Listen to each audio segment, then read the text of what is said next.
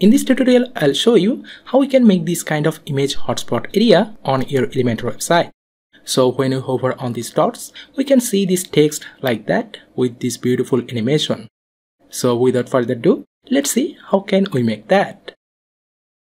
So here we are not gonna using any extra add-on or any custom codes. All we are gonna do by using only the Elementor Pro.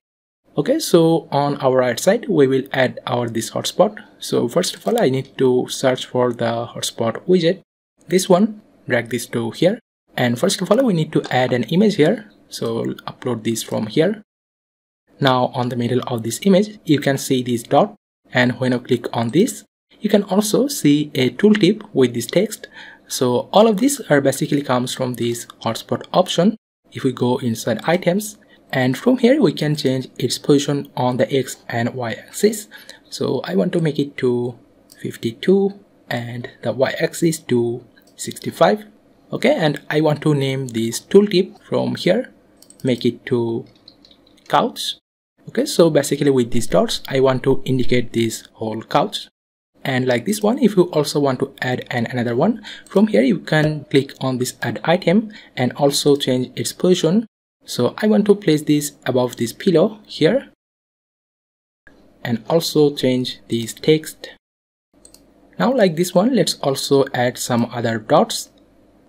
So we have added total 4 dots. Now under here from this tooltip option, we can also change the position of this tooltip. So instead of bottom, I want to place this on this right side. And also instead of click, I want to add the hover effect. So now we don't need to click on here we just need to hover on these dots okay?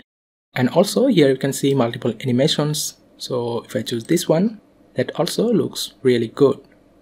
Okay now everything looks perfect but here we can see this one goes outside of this image. So only for these dots I want to place this on the left side. So we can easily do that. Let's go to the hotspot and I think this one is the fourth one. Okay this net back go to its position and enable these custom properties and make its position on the left side. Okay, now we can see it's on the left side and the other one remains the same. So next from this style tab, we can also customize its design like the height and width of this image or the design of the hotspot or the tooltip. So here let's change the color of this hotspot to this purple color. So when you choose this color, you need to make sure you can see all of these dots properly none of them are mixed with your background image. Okay?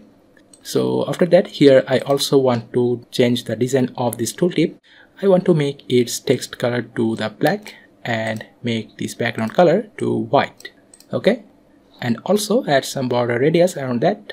20 pixel. Make some padding.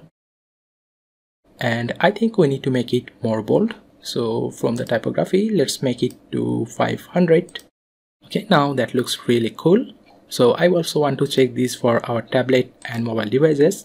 So we can see on the tablet it looks really very perfect. We don't have to do anything. So we can see all of these dots at the exact same position like the desktop which is really awesome. Because before the hotspot widget we have used some other method where it was very difficult to place these dots on the right place. But with this hotspot widget it's really very easy. We don't have to do anything okay so let's also check this on mobile. Here also everything looks good.